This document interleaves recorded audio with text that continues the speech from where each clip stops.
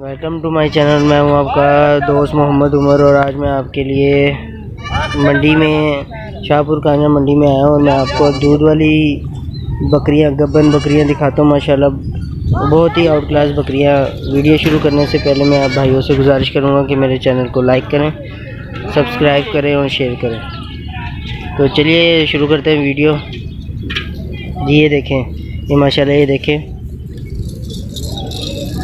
ये मक्की चीनी बकरी है और इसके नीचे माशाल्लाह दूध देखें इसका। बहुत ही आउट क्लास बकरी है। और भी बकरियाँ दिखाता हूँ। ये देखें जी।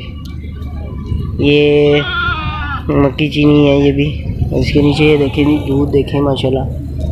तीन तीन लीटर दूध होगा या तीन नहीं तो ढाई लीटर तो इजीली होगा ना। माशाल्लाह बहुत ही अच्छी आउट क्लास बकरी है।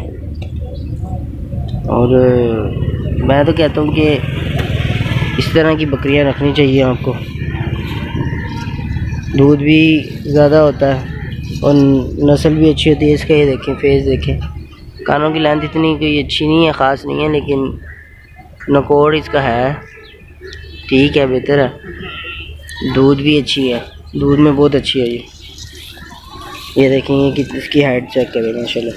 इसकी कानों की लेंथ भी अच्छी है। ये देखें। सारी गब्बन है। सारी गब्बन है। बहुत ही अच्छी हाइट है इनकी। और ये तकरीबन 40 से 50 साठ के दरमियान की रेंज में है और कमी पेशी हो जाएगी। ये देखें ये देखें कितना ही आउट क्लास कलर है इसका।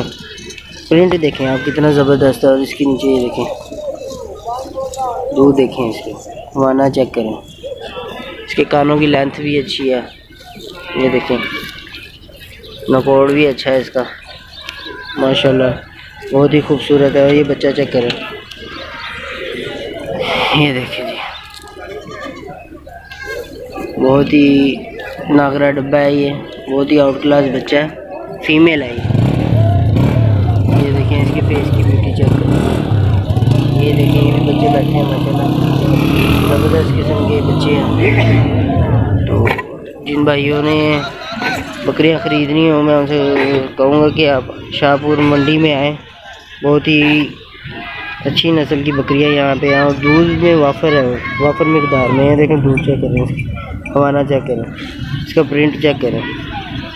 बहुत ही ज़बरदस्त बकरी है। माशाल्लाह। तो उम्मीद करता हूँ आपको वीडियो अच्छी लगी होगी। तो इंशाल्लाह आपसे फिर मुलाकात होगी नेक्स्ट वीडियो में। अल्लाह हाफिज़।